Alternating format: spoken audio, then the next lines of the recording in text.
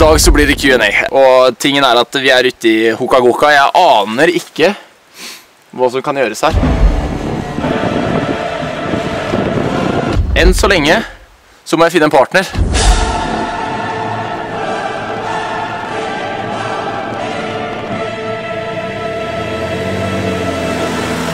Og som dere ser, så det er ikke mye partnere her. Hva er det for lyd? Hæ?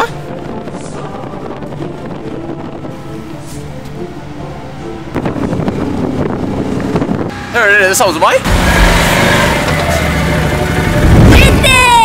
Nei, så denne dåningen. fra har sett min Toyota Corolla. Vet du hvor mye han kisen jeg brukte på den her? Øh, ja, det var vel nærmere 80 000. Altså fire ganger så mye som bil til Sander. Han var litt på bank, ikke sant? Um, vi skal da ha en Q&A, og som dere ønsket, så kunne jeg ta det med min kjære bror. Uh, vi har da planlagt dette lenge, men vi har ikke kommet helt til det. Men uh, nå som han har skaffet seg et slikt fartøy, så kan vi komme oss inn i skogen uten å bruke bein og lignende. Um, vi har da plukket ut et par hver. Uh, han kommer til å da starte, og jeg må si at jeg gruer meg litt.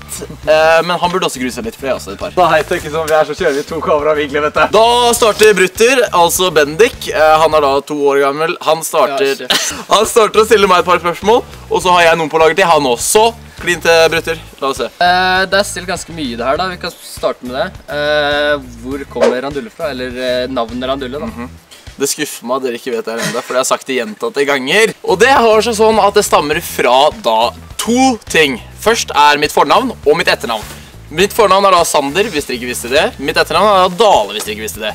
Sandal ble dette formulert til. Videre ble dette til Randal. Eh, ikke spør meg helt hvorfor. Det var bare sånn Alle på den tida het noe med R foran. Og så endte det da med at denne ble formulert til Randulle, fordi den er mye koseligere, for det første. Mye lettere.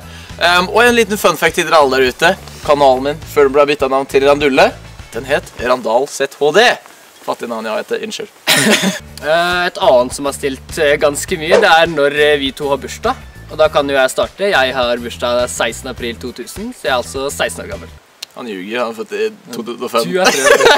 Nei, altså Jeg er da 1998-barn, så jeg er født 28. mars. Så vi er sånn cirka oppi hverandre. Vi bytter på med å ha bursdag i påskeferiene.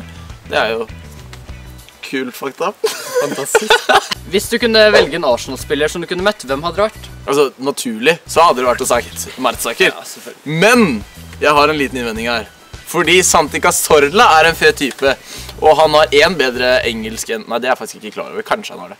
Men han virker som en jovial type. Han er fet. Øh, og han vil ha møte. Gjør du noe annet enn YouTube og fotball? Nei. Ikke en dritt. Eh, hva liker du best med Fifa 17? Det jeg liker best med Fifa 17, eh, er det faktum at det ikke er Fifa 16. Whip Nation, yo. Dæven, det er ass. Ja, du vet, jeg er feit. Sånn Ja. er det. they ask you how you are, you just have to say that you're fine when you're not really fine, but you just can't get into it because they would never understand. Hvorfor startet du med YouTube? Jeg starta med YouTube fordi jeg hadde lyst på Nei, gjør ikke det. Jeg starta med YouTube fordi jeg Altså, ydmykt så sier jeg at jeg er Jeg er over middels i Fifa. Og det har seg sånn at um, jeg ville ta opp disse klippene, legge de ut og formidle de til eh, alle omstendigheter. Ehm, og det endte da med at jeg la det ut på YouTube, og derav startet min YouTube-karriere. Så det er for å formidle hvor god jeg er, rett og slett. Ja. Hvor skulle jeg satt en YouTube-kanal? Eh, hva skal du gjøre etter videregående? Bli prostituert. Ja, eh, min plan det er å flytte inn til Oslo, for der kan jeg samarbeide med andre fine youtubere. Eh, Flytte vekk fra han dritten her.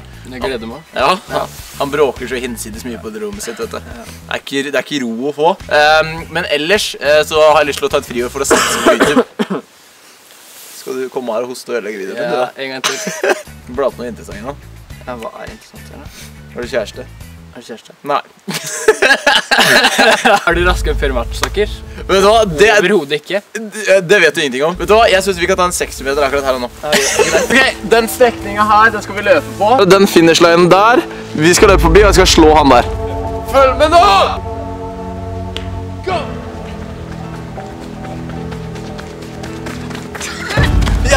Sklei! Dere så, dere så det jeg sklei. Jeg krever en rematch. Ok, folkens. folkens. Se, han, han feiger ut. Han feiger ut! Hva har du til ditt svar? Hva, hva var ditt forsvar? Smertesaker. Jeg er så sliten, jeg. Fair loose! Nå har vi konfirmert at jeg er en sabla rask fotballspiller. Forhold til smertesaker. Ja. Jump around. Ja, hvis du kunne møtt én person i hele verden, hvem ville du vært? Jeg ville møtt Jeg ville møtt uh, Dan Bilzerian. Fordi han har masse penger, og han gjør masse morsomt. Brenne, hvor mye elsker du meg? Jeg hater Markus Brenne. Så inderlig mye. Jeg har et intenst hat. Hvor ser du deg selv om ti år? I kasjotten eller utafor Nav. Hadde du ofret broren din for Messi, Ronaldo og Øzil i samme pakke?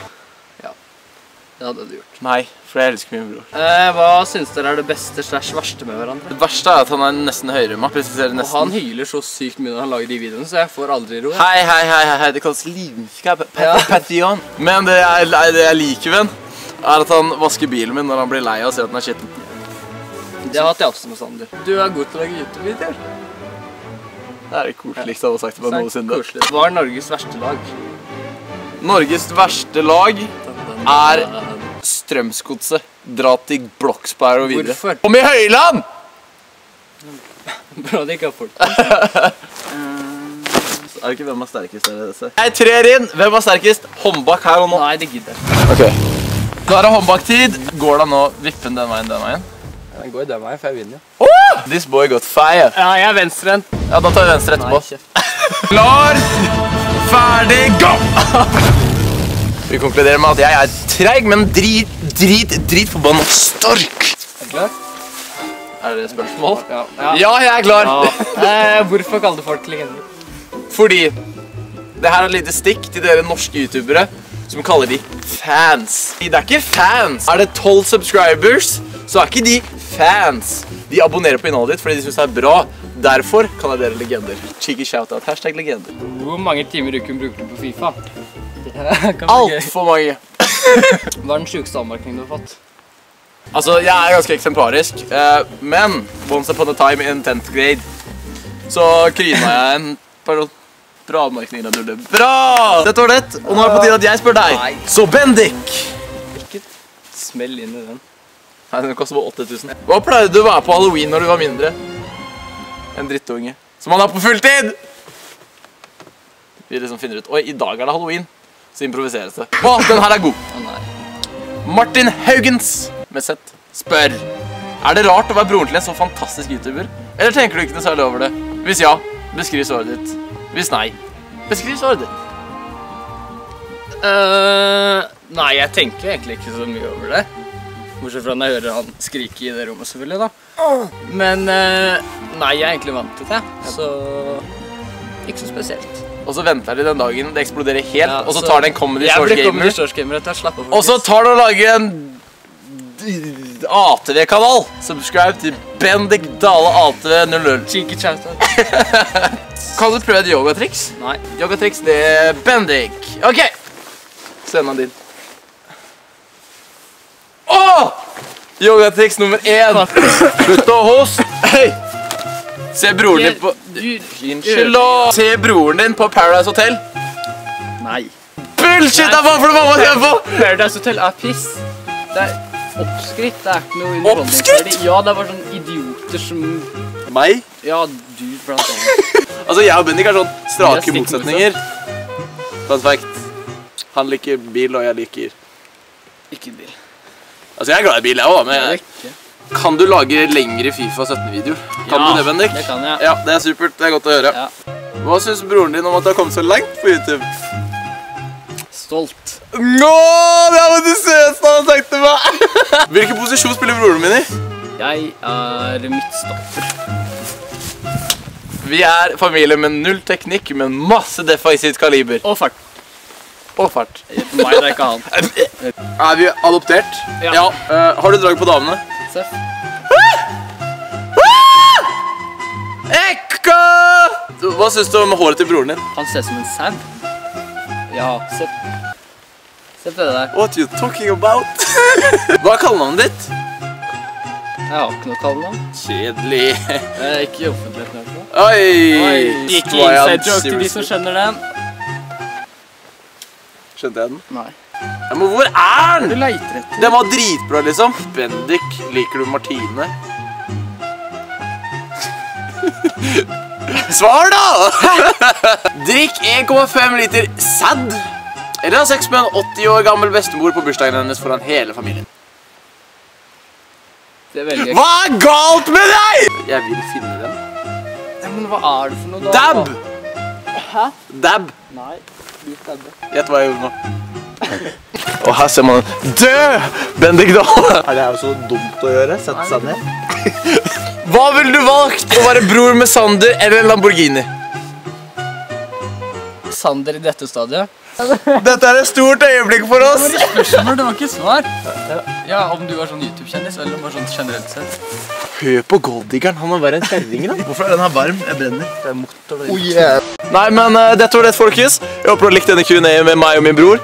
Aner ikke hvordan denne outroen blir, men jeg er veldig glad i dere. Og han er også bevist at han er glad i meg. Men, men. Klin til 1000 likes, så blir det mye mer artigheter og sprell. Takk til min kjære bror som støttet em, denne produksjonen. Produksjonen. Dyr produksjon. Masse masse penger går til det her. Men ja, eh, takk for alle fine kommentarer. Følg meg på Instagram for mer eh, moro som dette. Og vi, vi snakkes en helt annen gang. Much love.